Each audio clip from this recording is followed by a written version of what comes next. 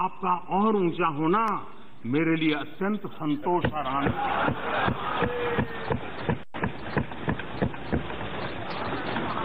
और मेरी कामना है कि आप और ऊँचे बढ़े। हमारी आपसे ऊंचाई के संबंध में कोई स्पर्धा ही नहीं क्योंकि हमारा सपना ऊँचा होने का है ही नहीं। हमारा सपना जड़ों से जुड़ने का है। हमारा सपना जड़ों की गहराई से जुड़ने का है। हमारा सपना, हमारा रास्ता जड़ों से ही ताकत पा करके और मजबूती देश को देना, ये हमारा रास्ता है। और इसलिए जिस स्पर्धा में हम नहीं हैं, उस स्पर्धा में हम तो आपको शुभकामनाएँ ही देते रहेंगे। और ऊँचे और ऊँचे और ऊँचे।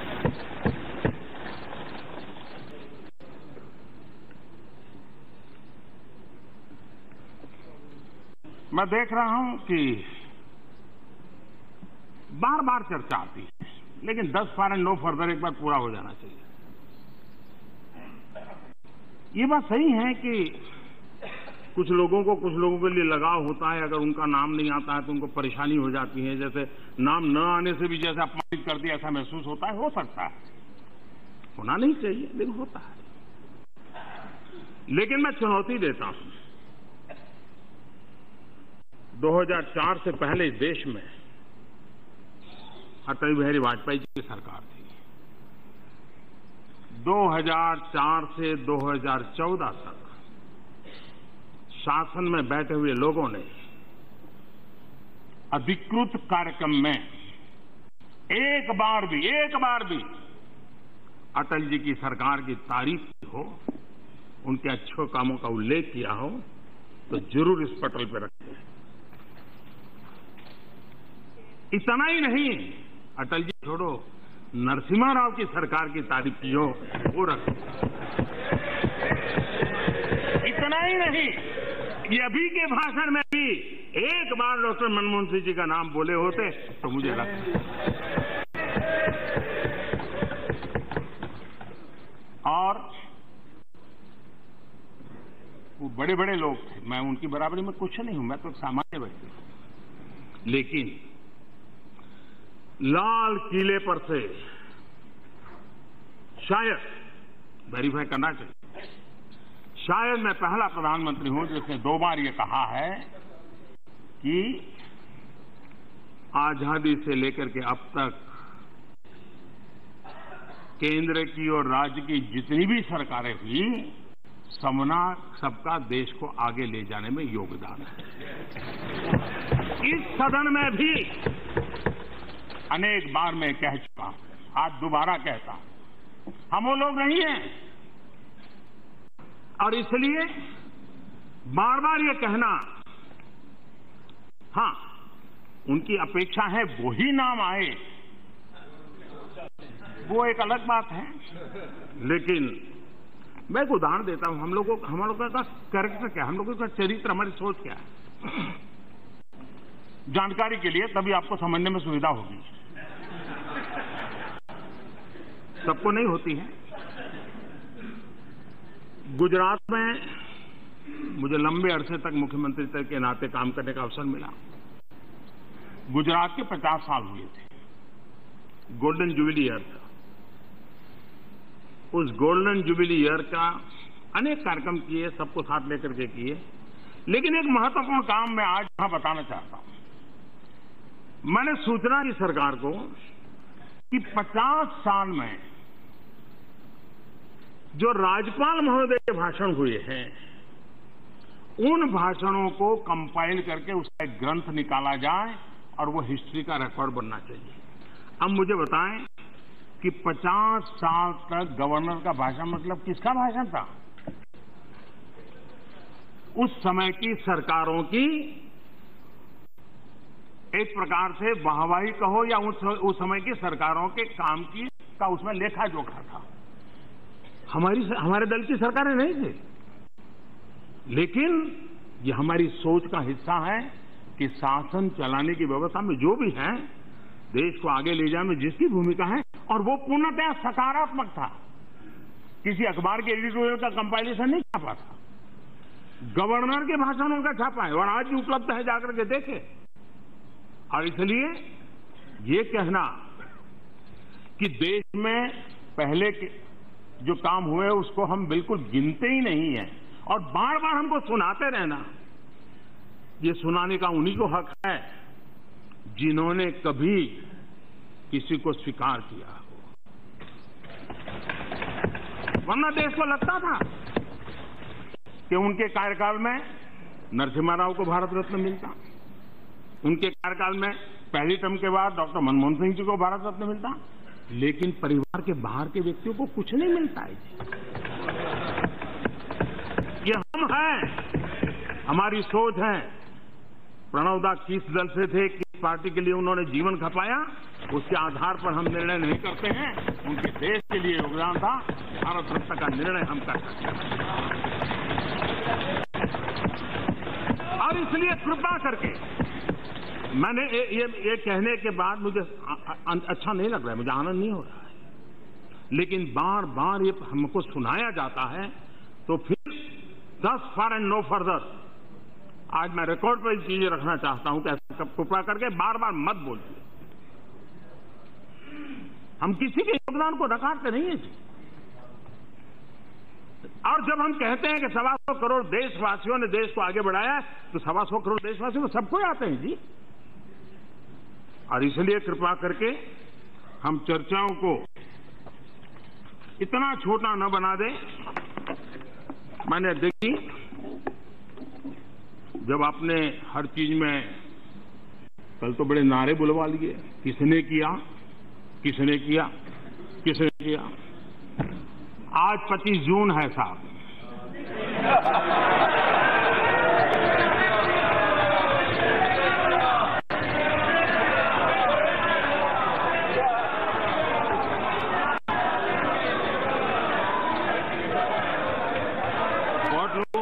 जानकारी भी नहीं कि 25 जून क्या है? अगल बगल में पूछना पड़ता है।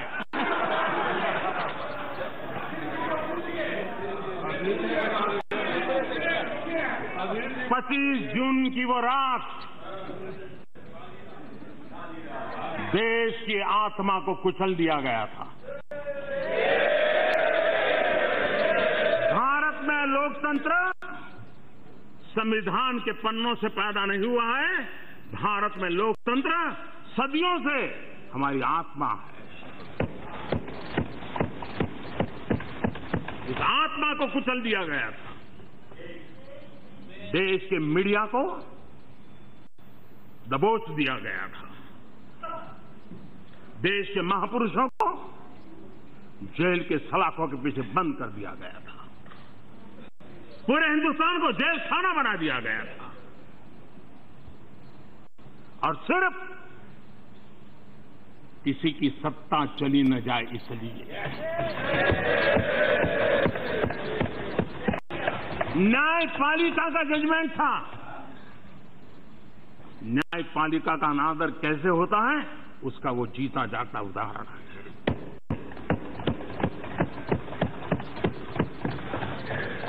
आज पच्चीस जून को हम लोकतंत्र के फिर प्रति फिर से एक बार। अपना समर्पण, अपना संकल्प, उसको और ताकत के साथ हमने समर्पित करना होगा। संविधान की बातें बताना और संविधान को कुचलने के पाप करना, इन चीज़ों को कोई भूल नहीं सकता है। और उस समय जो जो भी इस पाप के भागीदार थे ये दाग कभी मिटने वाला नहीं है। और इस दाग को बार बार स्मरण करने का भी ज़रूरत है, ताकि देश में फिर कैसे किसी कोई ऐसा पैदा न हो, जिसको इस पाप के रास्ते पर जाने की इच्छा हो जाए। इसलिए याद करना ज़रूरी है। किसी को बड़ा बुरा कहने के लिए नहीं। लोकतंत्र के प्रति आस्था का महत्व क्या है? ये समझाने के लिए भी लोकतंत्र पर किस प्रकार से प्रहार हुआ था, ये स्मरण कराना ज़रूरी होता है। किसी को बुरा भला कहने के लिए नहीं होता है। और इसलिए उन संपर्कों की पूरी के लिए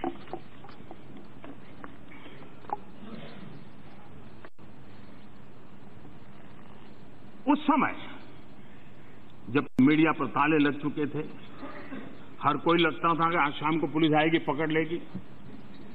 ऐसे वातावरण में मेरे देश के नागरिकों की सामर्थ्य देखिए, इनका ताकत देखिए। जाति, पंथ, संप्रदाय सबसे ऊपर उठ करके देश ने उस समय चुनाव में नतीजा दिया था। और लोकतंत्र के लिए वोट किया था। और लोकतंत्र को पुनः प्रस्थापित किया था। ये मेरे देश के मतदाताओं की ताकत है। इस बार फिर एक बार। जाति पंथ संप्रदाय, भाषा सबसे परे उठर करके सिर्फ़ और सिर्फ़ देश के उज्जवल भविष्य के लिए इस बार फिर से एक बार देश से मतदान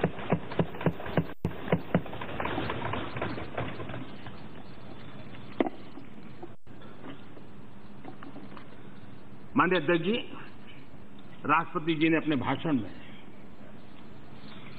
दो महत्वपूर्ण अवसरों का उल्लेख किया है।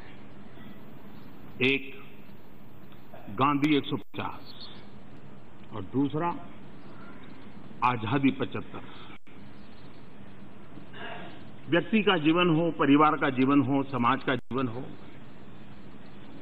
कुछ तारीखें होती हैं जो नया जज्बा पैदा करती हैं, जीवन को प्राणवान बनाने का अवसर बन जाती हैं। संकल्पों को पूर्ति, पूर्ण करने के लिए समर्पण के भाव से जोड़ देती है। भारत के जीवन में भी। आज हमारे पास पूज्य बापू से बड़ी कोई प्रेरणा नहीं है।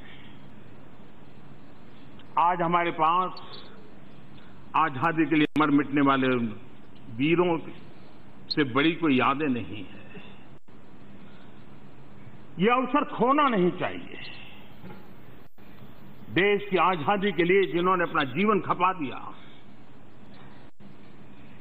उनका पुण्य स्मरण करते हुए, जिन्होंने यातनाएँ झेली, जिन्होंने अपनी जवानी माँ भारती के लिए न्यौछावर कर दी, उनका पुण्य स्मरण करते हुए, और देश में आज़ादी के लिए जन आंदोलन सफलतापूर्वक नेतृत्व करने वाले पूज्य बापू का स्मरण करते हुए इन तारीखों का एक अवसर बना करके हम देश में फिर से एक बार स्पिरिट पैदा कर सकते हैं। और ये सरकार का एजेंडा नहीं हो सकता है। किसी दल का एजेंडा नहीं हो सकता है। ये पूरे देश का एजेंडा होता है। इसमें दल नहीं होते, सिर्फ़ और सिर्फ़ देश होता है। राष्ट्रपति जी ने इस बात को कहा है। हमारे लिए संकल्प की घड़ी है। चुनाव के मैदान में तू तू मैं मैं जो करना है कर लीजिए। लेकिन एक अवसर है इसको हम पकड़े। आज़ादी के पहले देश के लिए मरने का मिजाज था। आज आज़ादी पचहत्तर पर देश के लिए जीने का मिजाज पैदा करने का हमें अवसर मिला मैं इस सदन में सभी जनप्रतिनिधियों से आग्रह करता हूँ। मैं देश के सभी सार्वजनिक जीवन का नेतृत्व करने वाले लोगों से आग्रह करता हूँ कि राष्ट्रपति जी ने हमें जो आदेश दिया है, जो हमसे अपेक्षा की उस अपेक्षा को पूर्ण करने के लिए हम आगे आए और इस दो महत्वपूर्ण अवसरों को नए भारत के निर्माण के लिए, जन सामान्य को जोड़ने के लिए हम किस प्रकार से आगे ला सकते हैं, प्रयास करें। हिंदुस्तान गुलामी का कालखंड लंबा रहा। लेकिन इस गुलामी के कालखंड में कोई भी काल ऐसा नहीं था कि किसी न किसी कोने में से आज़ादी की आवाज़ न उठी हो, त्याग बलिदान की परंपरा न चली हो। अठारह सौ सत्तावन में एक संगठित रूप प्रकट हुआ। लेकिन महात्मा गांधी का एक बहुत बड़ा योगदान था। उन्होंने देश के सामान्य मानवी को आज़ादी का सिपाही बना दिया। अगर वो झाड़ू लगाता है तो भी आज़ादी के लिए, वो बच्चों को शिक्षा देता है तो भी आज़ादी के लिए, वो खादी के वस्त्र पहनता है तो भी आज़ादी के लिए। ये पूज्य बापू ने पूरे हिंदुस्तान में माहौल बना दिया। और 1942 भारत छोड़ो आंदोलन में देश का जन जन जुड़ गया। 1942 टू 47 एक बहुत बड़ा महत्वपूर्ण टर्निंग पॉइंट आज़ादी की जंग का। क्या हम गांधी 150 और आज़ादी 75 को उस 42 के स्पिरिट के साथ देश को संकटों से मुक्ति दिलाना, देश को समस्याओं से मुक्ति दिलाना, अधिकार से ऊपर उठ करके अब कर्तव्य पर बल देना, जिम्मेवारियों को निभाने के लिए देश को प्रेरित करना, क्या हम इसके लिए आगे आ सकते हैं? मैं मानता हूँ राष्ट्रपति जी ने विषय को बहुत महत्वपूर्ण तरीके से हमारे सामने रखा और लोगों का आश्चर्य होता था जब आज़ादी की मांग हो रही थी। मज़ाक भी उड़ाया जाता था, कैसे चलाओगे, क्या चलाओगे। लेकिन आज़ादी के दीवानों के अंदर एक ललक थी। आज़ादी के लिए मरने वालों का एक मिजाज था। आज़ादी के लिए, आज़ाद भारत के लिए जीने वालों का मिजाज पैदा करना। इस नेतृत्व में क्षमता है। मैं चारों तरफ़ हाथ घुमा करके कह रहा हूँ, मैं सिर्फ़ मेरे लिए नहीं कह रहा हूँ, नहीं, मैं इस तरफ़ कह रहा हूँ। सब मिलकर के इस बात को करें। और स्वभावतः मुझे तत्कालीन लाभ में मेरी सोच का दायरा नहीं होता है। छोटा सोचना मुझे पसंद नहीं है। और इसलिए मुझे कभी लगता है कि सवा सौ करोड़ देशवासियों के सपनों को अगर जीना है तो फिर छोटा देश सोचने का मुझे अधिकार भी नहीं। है और इसलिए, जब हौसला जब हौसला बना,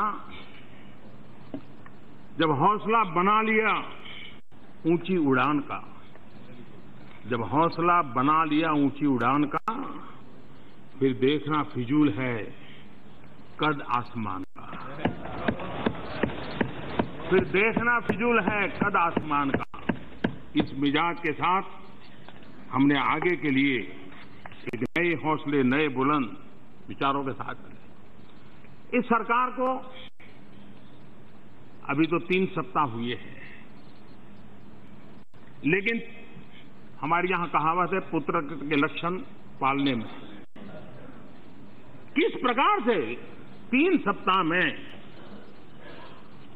हमें भी मन करता था कि कहीं जाए, मालाएँ पहने, जयकारा करें, लेकिन हमने वो रास्ता नहीं चुना। हमें भी लगता था, अरे इतने चुनाव छह महीने से दौड़ रहे थे, चलो कुछ दिन रहे, हम भी आराम कर ले। लेकिन वो रास्ता हमें पसंद नहीं। हमारा रास्ता वो नहीं है, हम तो देश के लिए, जीने के लिए आए हैं। तीन सप्ताह के भीतर भीतर कितने महत्वपूर्ण निर्णय लिए सरकार ने? एक गतिशील समय का पल पल उपयोग करते हुए देश को कैसे आगे ला जाना? छोटे किसान हो, छोटे दुकानदार हो, खेत मजदूर हो, उनको 60 साल के बाद पेंशन वाला निर्णय कर लिया। हमारे पीएम किसान समृद्धि योजना, हमने वादा किया था कि सभी किसानों को उसके दायरे में लाकर उसका लाभ दिया जाएगा, दे दिया गया। सेना के जवानों के बच्चों को जो स्कॉलरशिप मिलती है, उसमें बढ़ोतरी की, लेकिन साथ साथ समाज की सुरक्षा में लगे हुए हमारे पुलिस के जवान हैं, उनके बच्चों को भी वो बेनिफिट मिले। इसका एक बहुत बड़ा निर्णय किया। मानव अधिकारों से जुड़े बहुत महत्वपूर्ण कानून इस संसद के अंदर। हमने लाने के लिए जो भी आवश्यक तैयारियाँ थी, उसको पूरी कर ली। 2022 के सपनों को पूरा करना, मुख्यमंत्री की मीटिंग बुलाना ऑल पार्टी की मीटिंग बुलाना ऑल पार्टी प्रेसिडेंट की मीटिंग बुलाना, हर चीज़ को जितना भी तीन सप्ताह के भीतर भीतर सबको साथ लेकर के चलने के लिए जितने भी काम हो सकते हैं, एक के बाद एक कामों को उठाया मैं पूरी गिनती करूँगा तो शायद डेली के तीन काम निकल आएँगे। और इसलिए मान्य अध्यक्ष जी, राष्ट्रपति जी के हमने भाषण में उल्लेख किया। है हमने, ऐसा तो नहीं है कि पहले की सरकारों ने कोई काम नहीं किया है। यहाँ चर्चा हो रही थी, ये डैम बना, वो डैम बना टिकना डैम बना, फलाना डैम बना। काफ़ी कुछ चर्चा हुई। अच्छा होता, बाबा साहब आम्बेडकर के नाम का उल्लेख होता। हिंदुस्तान में पानी के संबंध में जितने भी इनिशिएटिव लिए गए थे, वो सारा काम बाबा साहब आम्बेडकर के कि खैर, एक सीमा के बाहर बहुत ऊंचाई पर जाने के बाद दिखता नहीं।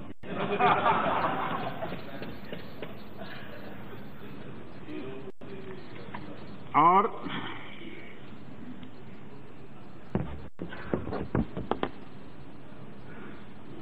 बाबा साहब ने सेंट्रल वाटरवेज इरिगेशन, नेविगेशन और बाबा साहब पानी के संबंध में कहते थे। मैं समझता हूँ आज के लिए बाबा साहब की ये आदेश हम सबके लिए उपयोगी है। वो कहते थे man suffers more from lack of water than from excess